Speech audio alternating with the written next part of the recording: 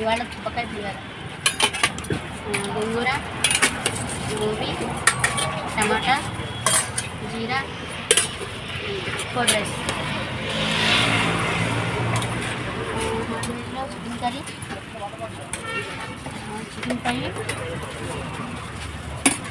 ఎలిగర్ fry బోటి mutton వెజ్లో टमाटा मिलमेकर करी कैबेज पसंद